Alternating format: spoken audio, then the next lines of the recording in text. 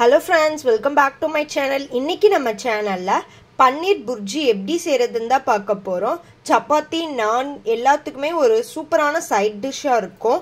அதுக்கு ரெண்டு medium size ஆனியனை ஃபைனாக சாப் பண்ணி எடுத்து வச்சுருக்கேன். கொஞ்சமாக கேப்சிகம் இஞ்சி பூண்டு பேஸ்ட் ரெண்டு நல்லா பழுத்த தக்காளியாக எடுத்து ஜூஸ் எடுத்து வச்சுருக்கேன். வாங்க இப்போ எப்படி செய்கிறதுன்னு பார்க்கலாம். ஸ்டவ் ஆன் பண்ணி இதில் கொஞ்சமாக பட்டர் ஆட் பண்ணிக்கலாம். பட்டர் இல்லை அப்படின்னா நீங்கள் கீ கூட ஆட் பண்ணிக்கலாம். பட்டர் ஃபுல்லாக மெல்ட் ஆனதும் ஒரு three tablespoons of oil add பண்ணிக்கலாம் இதில். ஆயில் நல்லா வந்துட்டு ஹீட் ஆனதும் பிரியாணி இலை ஸ்பைசஸ் எல்லாம் இப்போ ஆட் பண்ணுறோம் பட்டை கிராம்பு ஸ்டாரனஸ் ஜாடிபத்ரி ஏலக்காய். இது எல்லாத்தையும் சேர்த்து ஒரு ஒன் மினிட்க்கு மட்டும் ஃப்ரை பண்ணிக்கலாம்.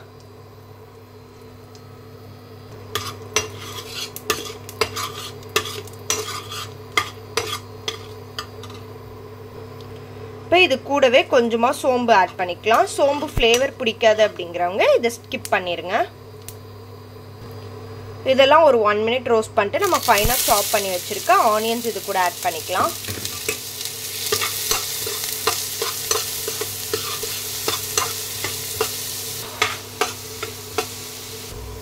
ஆனியனை ஒரு ஒன் மினிட் ஃப்ரை பண்ணதுக்கப்புறமா ஜிஞ்சர் கார்லிக் பேஸ்ட் ஆட் பண்ணிக்கலாம்.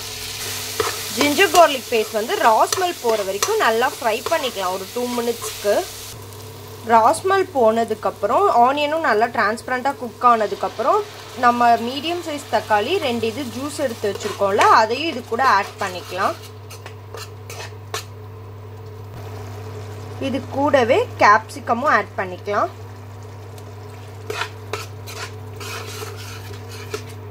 நல்லா எல்லாமே ராஸ்மல் போகிற வரைக்கும் குக் ஆகணும். இது ஒரு ஒன் மினிட் நல்லா குக் ஆகட்டும். அதுக்குள்ளே நம்ம வந்துட்டு பன்னீர் இங்கே ஒரு ஹண்ட்ரட் கிராம்ஸ் எடுத்திருக்கேன். இதை வந்துட்டு நம்ம கிரேட் பண்ணி தான் ஆட் பண்ண போகிறோம் அது குக் ஆகிறதுக்குள்ளார நம்ம இதை கிரேட் பண்ணி எடுத்துக்கலாம். பன்னீரை இந்த மாதிரி நல்லா கிரேட் பண்ணியாச்சு இப்போ. இப்போ டூ மினிட்ஸ் ஆயிடுச்சு. இதுவும் நல்லா குக் ஆயிடுச்சு.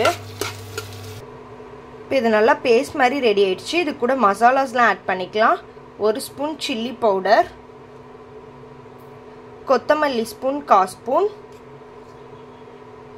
கரம் மசாலா கால் ஸ்பூன். கியூமின் பவுடர் கொஞ்சமாக மட்டும் ஆட் பண்ணிக்கோங்க.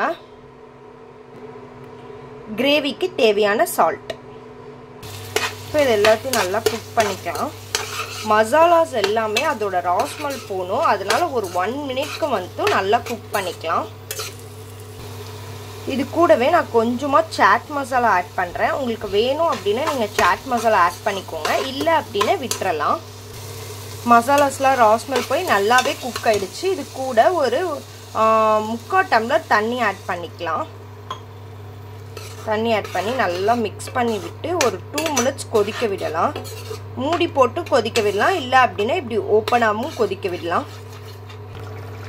தண்ணி நல்லா ஊற்றுனது கொதிக்க ஆரம்பிச்சிருச்சு. இப்போ இது கூடவே கொஞ்சமாக ஒரு two tablespoon of curd நல்லா கெட்டியான தயிர் ரொம்ப புளிச்சிருக்கக்கூடாது அந்த மாதிரி தயிர் இது கூட ஆட் பண்ணிக்கலாம். நல்லா கொதிச்சிருச்சு. நம்ம கிரேட் பண்ணி வச்சுருக்க பன்னீரை இது கூட ஆட் பண்ணிக்கலாம். ஆட் பண்ணி நல்லா மிக்ஸ் பண்ணிடுங்க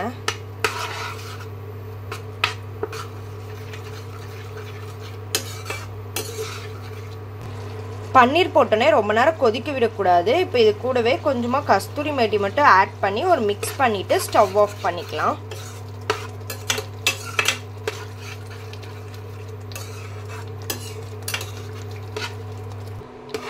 அவ்வளோதான் டேஸ்டியான ஒரு பன்னீர் புர்ஜி ரெடி ஆயிடுச்சு. இது இப்போ ஒரு ப்ளே பவுலுக்கு ட்ரான்ஸ்ஃபர் பண்ணிக்கலாம். பவுலுக்கு ட்ரான்ஸ்ஃபர் பண்ணியாச்சு. இது கூட இப்போ கொஞ்சமாக லெமன் ஜூஸ் ஒரு ஹாஃப் லெமன் ஜூஸ் மட்டும் ஆட் பண்ணிக்கலாம். லெமன் ஜூஸ் வந்துட்டு கொதிச்சுட்டு இருக்கும் போது ஆட் பண்ணக்கூடாது. திரிஞ்சிரும். அதனால் இறக்கிட்டு அதுக்கப்புறம் லெமன் ஜூஸ் வந்துட்டு ஆட் பண்ணிக்கோங்க. ஒரு சூப்பரான பன்னீர் புர்ஜி ரெடி ஆயிடுச்சு. நீங்களும் உங்கள் வீட்டில் ட்ரை பண்ணி பார்த்துட்டு எப்படி இருந்துச்சுன்னு உங்கள் கமெண்ட்ஸ் அண்ட் ஃபீட்பேக்ஸை சொல்லுங்கள் தேங்க்ஸ் ஃபார் வாட்சிங்